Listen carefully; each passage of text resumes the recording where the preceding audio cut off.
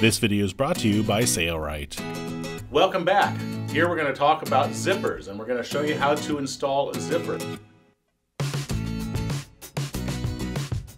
There are multiple ways to install zippers.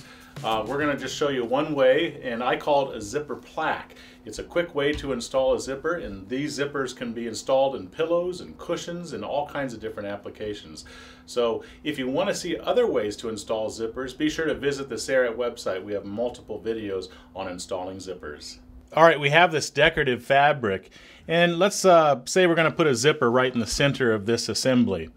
What we want to do is we want to uh, be sure that we put the zipper on the right side of the fabric. As you can see, this has a right side and a wrong side. This is the correct side, or the outside. So we're going to fold it in half at that location where we want to install the zipper.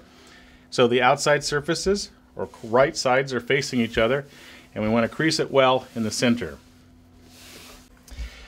Now we'll take it to the sewing machine and we'll take our number 5 YKK Vislon zipper. We will place the zipper on top of the fold with the teeth centered. Now we're going to do a tack stitch right next to the edge of the zipper tape. So we want a stitch to be right here. So we're going to take it to the sewing machine and we're going to determine where the needle will land in the fabric with the teeth centered on the fold. So there's where we want our stitch to be. Now we're going to remove the zipper. We're going to place our magnetic guide here to help guide our fabric while we're sewing it. We want our sewing machine to be set up in the maximum stitch length and we do not want to do any reversing for this because we're going to be ripping this stitch out. We're going to lower the foot, we're going to hold our trailers and sew down this length.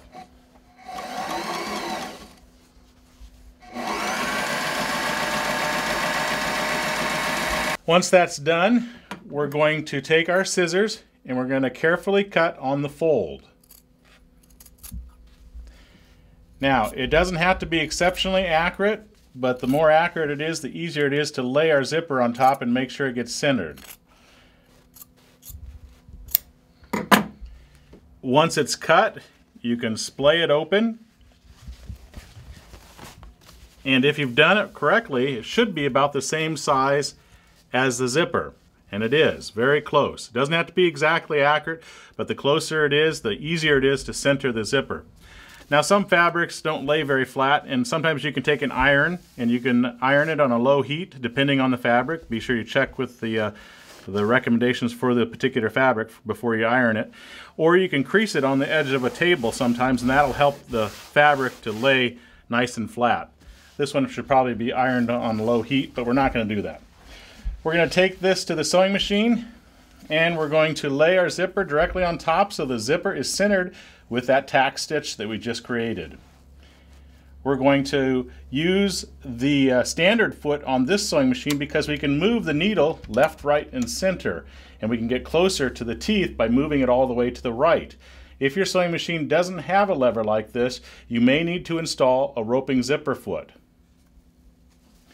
Now we're going to center the teeth and sew as we go. I'm going to bury the needle by hand first to make sure I get it where I want it.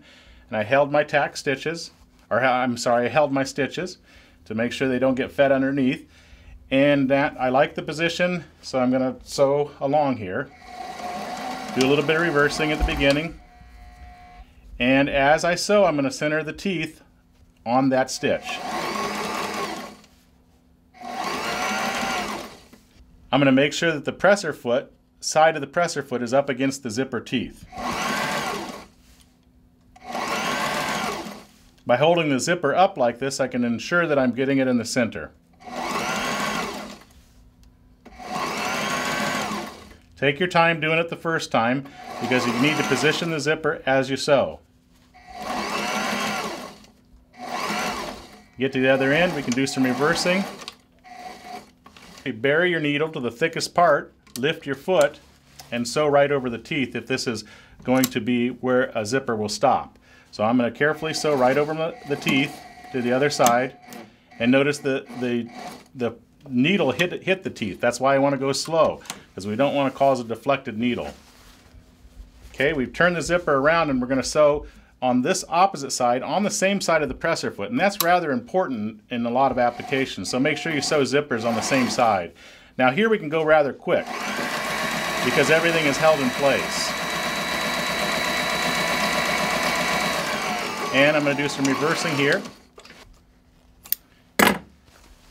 Now we'll turn the assembly around so we're looking at the outside surface and we're going to use a seam ripper and we're going to cut these first stitches, the tack stitches that we installed.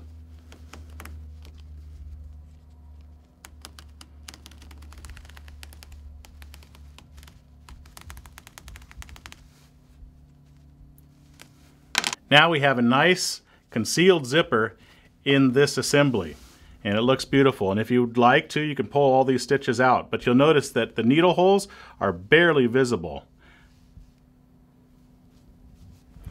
if you look at this side that's the underside this is a very important step because oftentimes people will continue to sew their assembly completely together and forget to install the slider and then have to tear it apart just to get the slider in.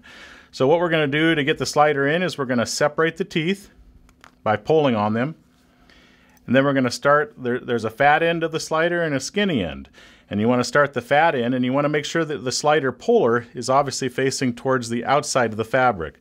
So we're going to try to start it evenly on both sides of the zipper.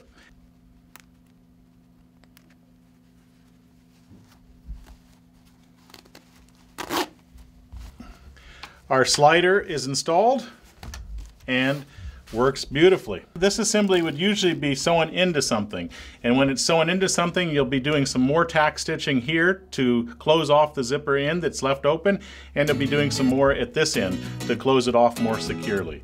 And that's one technique to install a zipper and next we're going to move on and show you how to install piping.